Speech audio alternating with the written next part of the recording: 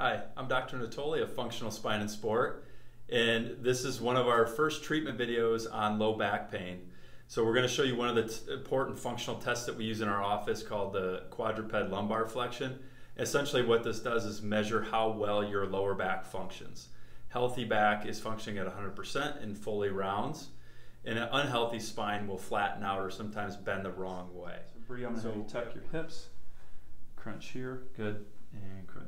So she's cued into moving her spine into a flex position. And what you'll see here is a ruler specifically used for measuring the function here. And what you're noticing is how flat she is from L3 down to her sacrum, her tailbone. This means that the lumbar spine is unhealthy in this section and really is only moving about 70% function.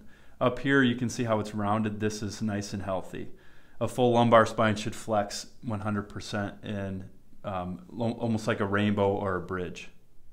Okay. So our first treatment that we do to help fix this test and fix the back pain itself is treatment to the supraspinous ligaments between each bone in the back. When you get adhesion in those tissues, in those ligaments, it restricts it's part of what restricts that test and part of what creates low back pain. So what we're going to do here is called instrument adhesion release. This is an instrument specifically designed to treat adhesion and fix adhesion.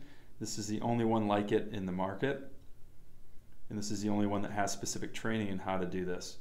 So this gets in to the ligaments between the bones here and treats the adhesion.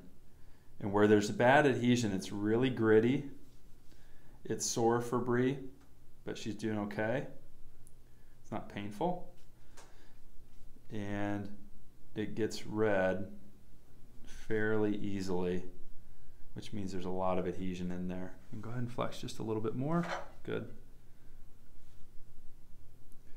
And we're reaching dose right about there. Okay, great. So this was um, the measurement for the lower back function to see how healthy it is, and the first part of treating low back pain and treating to make that test better in order to fix low back pain. That was treatment to the supraspinous ligaments to fix the adhesion that's there. Thanks for watching. If you found this video useful, please like, comment, and share.